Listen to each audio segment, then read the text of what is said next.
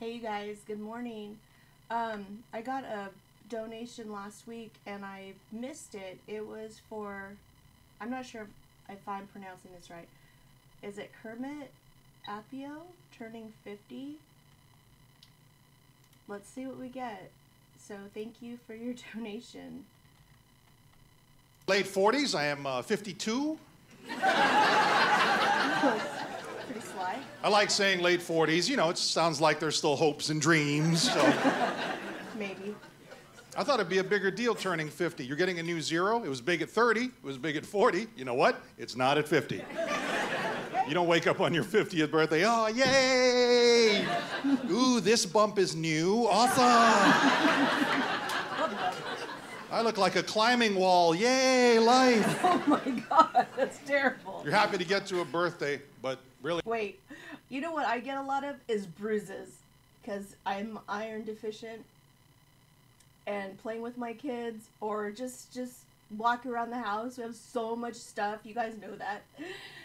And I get so sad because I'm like, why do I have all these bruises everywhere? But, you know, it could be worse. I could have bumps. I don't want that. No. After a half century, all it means is, hey, you've been on the planet kind of a long time. I was thinking about this. I was in school so long ago, I remember making ashtrays in art class. Remember that, anybody? There you go. That's right. Yes. Yeah. That's right, youngsters. That's what we did. We made ashtrays. I'm trying to think of what my kids make. My kids make candles and, well, not real candles, but like jars, and then they put a fake candle inside of it. I want to say it looks like an ashtray. I think that's because that's the easiest thing they can. So it's like a plate, but I mean, you could pretty much. I mean, I think ashtray is the go-to. Anyway, in school. Wow, could you imagine suggesting that little idea today? no. That teacher would be on the ground with a PTA mom's foot right on his head. We're on lockdown. We are on lockdown. Sarah, get my iPad. We need to make a Facebook group now. We made ashtrays in school. You had to use your nine year old finger to make a cigarette wedge. Remember that? I'm gonna put glitter on it. We made addiction cute. That was our assignment. All right, kids, get your welder's mask. We're making shot glasses for mommy. Let's do this. And if you haven't finished your macaroni bongs, get them done. Let's go. It's almost Christmas time in the 70s, and that's how we roll. I like him. I like him. The kids make still make macaroni stuff. Do your kids make macaroni stuff? They make everything. Well, they used to. Now that's you know now that they're in older grades, they're now. But yeah, kindergarten, first grade for sure. Anytime someone says 50 years old, you know what I do? I'll tell you what I do.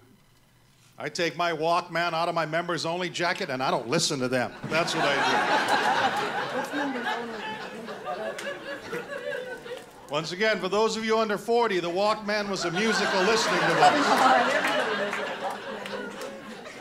Kind of like an iPod, only steam powered, really. Okay, About this big, had a butter churn crank sticking out of it. he's he's ridiculous. Oh, remember cassettes? Oh, that was fun. Remember trying to find a song on a cassette? Bring a book and a lunch. That's an afternoon. Remember that? Stop, rewind.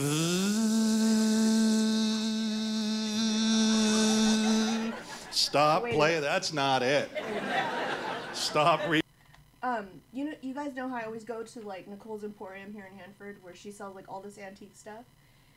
Well, she's got tons of albums, and now she's selling cassettes and stuff. And I was asking her about it, and she's like, "You'll never believe like cassettes are coming back, and well, albums have always been around, but I was just like, really, cassettes?" And she was telling me VHS, which is you know video, and she was like CDs and stuff. So people still want that kind of media. So, I mean, people want what they want. Rewind. Oh, it's on the other side. Stop, eject, turn over, close. I should shave again. Remember trying to reel up the beginning part? Just- Oh, Get the pinky in there. He's talking about rewinding cassettes.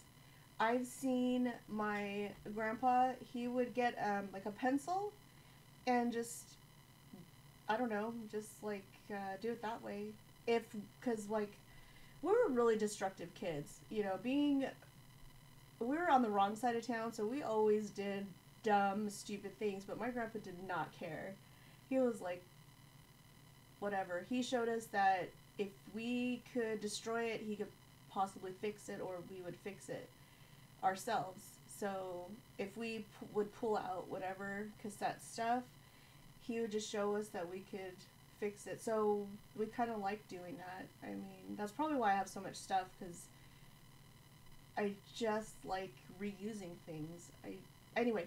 So Members Only is a brand of clothing that became popular in the 80s with its line of jackets. The brand was created in 75, introduced to American markets in the 80s by Europe Craft Imports. Members Only racer jackets were distinguished by their narrow epaulets and collar strap and their knitted trim. So it's just a stupid jacket. I am so sure I went through all that. I thought it was like, I don't know. I thought it was something else, but whatever. There's my over 40s. They know what's going on right now. Oh, you look it up. This is the over 40 gang sign right here, man.